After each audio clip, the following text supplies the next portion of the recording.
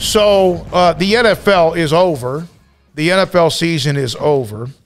And now the offseason begins, and now you start to have mock drafts and all that. One of the notes that the Rams have to deal with how much do you guys, and this is a short segment until we hit four o'clock with Jason, how much do you believe that Aaron Donald or Sean McVay will truly contemplate walking away now that they have a ring? Aaron, Mc, Aaron, Aaron, I almost combined them together. Aaron Donald has $87 million guaranteed left on that deal. So I don't know. I mean, I, I think that maybe it was a big deal to him, like to be able to go out that way. I mean, they you get two guys, you get to watch Whitworth and Weddle walk out with a ring in their, their last game ever, and, and maybe you see that and get a little romantic for it. You know, his uh, Aaron Donald's a big family guy. You saw him out there with his daughter, uh, was really great. And look, Sean McVay is 36 years old and has kind of already done what you set out to do. He's made a bunch of money. He could go into TV for three or four years and then wait for another job to come open and, and, and have another project. And part of that might just be that the realization in the Rams is that they've mortgaged their future. And a lot of these guys are on one year deals. I mean, Odell Beckham Jr. tore his ACL last night. Is he coming back? You know, what do you do with the salary cap? How do you make all this work? How do you get some of these guys back? Is it realistic that the Rams are going to make another run? Or if you're Sean McVay, do you say, like, you know what, I'm happy right now. I'm going to. I'm going to do it. I don't think it's realistic for either of them, but it's interesting that it's come up.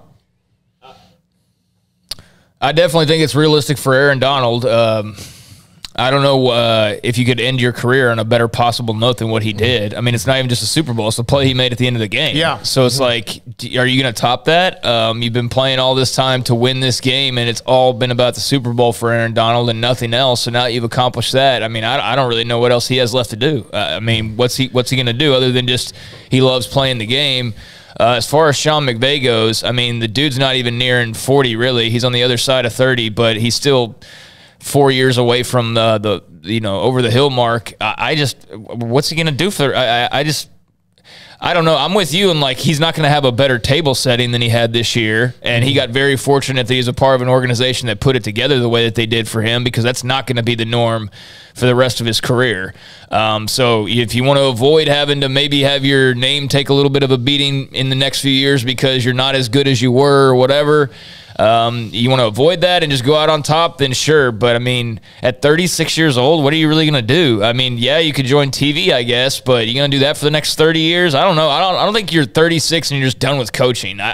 I, I have a hard time His time entire believing family has been involved in football. His dad Yeah, was a, just- a guy that helped uh, create the 49ers legacy. Maybe he doesn't want to be a head coach, but he's not going to be out of football. And and I don't think TV's really the move right now. I don't know though. I mean, I don't I don't know what his thought process is. He could be a guy that once he got a Super Bowl, he's he's ready to not deal with the stress anymore. For all I know, but Aaron Donald definitely, I would not be surprised one bit to see him uh, announce his retirement. And uh, you know, he would be an a certain Hall of Famer, uh, early ballot, I would imagine as well, if not first ballot. So um, yeah, we'll see what happens, but uh, that's going to be a couple of big decisions being made. 98 sacks in eight years. He had 20 and a half in 2018.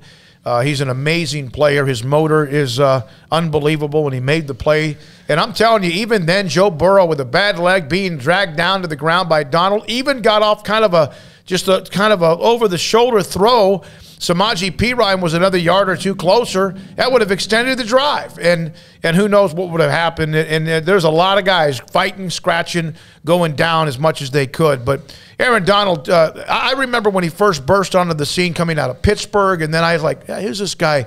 And then I started being able to watch him more often, and he is uh, he is unbelievable. They're the number four seed. The Rams were the number four seed. What were the Bengals? Off the top of my head, I don't remember. Number four seed.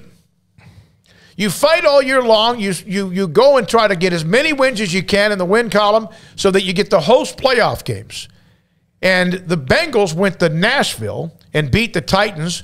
They go to Kansas City and beat the Chiefs, right?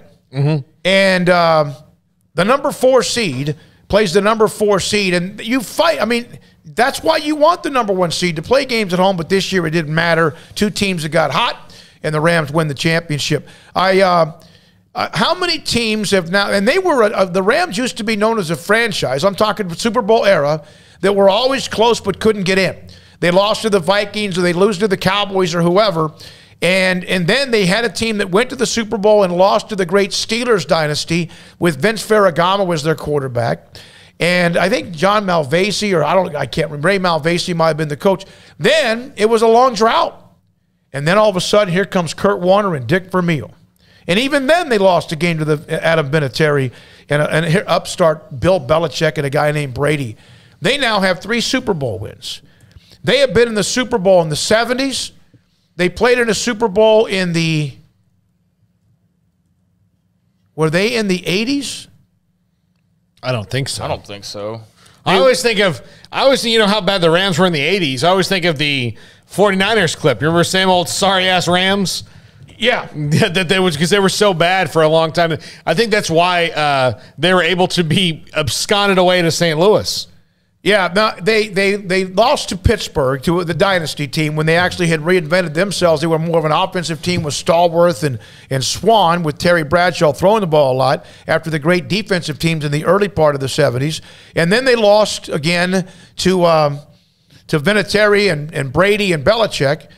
And then it was recently when Jared Goff took them to a Super Bowl and they lost. So they've been kind of resilient, but they now have uh, those three th- those rings and how about Von Miller? He gets another one. Talk mm-hmm. about a guy who was already headed to Canton, Ohio at some point. Now he's got rings with two different teams. Well, and, and a free free agent as well. That's that's why you kind of get him with the Rams. Like you start wondering, you know, what's the future? But they did it and it worked. They did it. They less need teed it up. They did it. It worked. Uh, and you know now that they they probably have a, a, a nice short term, but there's some some pieces that are going to be gone, and they're not going to be able to replace them with draft picks because they don't have a lot. But was worth it um, to get the Super Bowl title. I mean, when you go that long without being in the Super Bowl, yeah, and, and for the longest time, again, they were always the team. Yeah, but and now they win it. Coming up next, Jason King. What